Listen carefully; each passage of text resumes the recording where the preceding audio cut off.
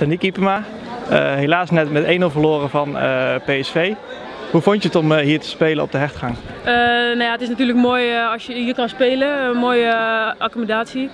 Nou ja, het resultaat inderdaad wat je zegt, 1-0, dat is gewoon ja, heel jammer. En daar, daar balen we enorm van. Ja, ja wat was het strijdplan vooraf?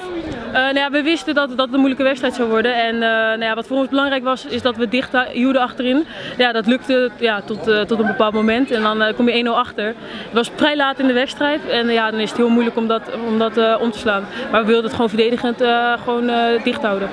Ja, jullie speelden tegen een goede Eredivisie-ploeg. Allemaal een paar internationals zelfs erbij. Maar toch hielden jullie lang stand. zelfs in het Eindhoven Dagblad zeiden ze dat jullie beter waren eerste helft. En kregen ook nog een paar kansen. Ja, ja, daar heb je, ja, het is mooi dat je, dat je beter bent en dat je kansen creëert, maar uiteindelijk heb je er nu, nu niks aan. Het is mooi dat we, we zijn een jong team hè, en we spelen inderdaad tegen een eredivisie ploeg. En dat je dan zoveel kansen kan, uh, kan creëren, dat is wel mooi. Maar ja, dat je ze niet afmaakt, ja, daar, moeten we, ja, daar moeten we op uh, trainen. Ja, hoe kijk je terug op je, je eigen spel uh, vandaag? nou ja, ik, ik heb, ja, kijk wel goed naar mijn eigen spel. Ik ben altijd kritisch, kunnen altijd dingen beter.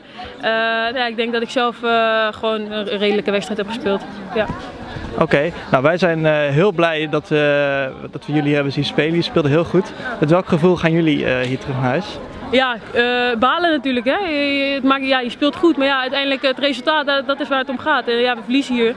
Dus ja, ik, uh, ik bouw enorm en met mij heel veel andere meiden. En uh, dat was ook wel te merken na de wedstrijd en tijdens de wedstrijd dat we wat, wat reacties gaven inderdaad. En ja, dat, dat, hoort ook bij voetbal. En nu, nu zijn we wel wat afgekoeld en gaan we gewoon tevreden wel naar huis, maar wel met, met een kleine teleurstelling. Die beker die komt ooit nog? Die komt ooit nog. Oké, uh, dankjewel en uh, succes verder. Dankjewel.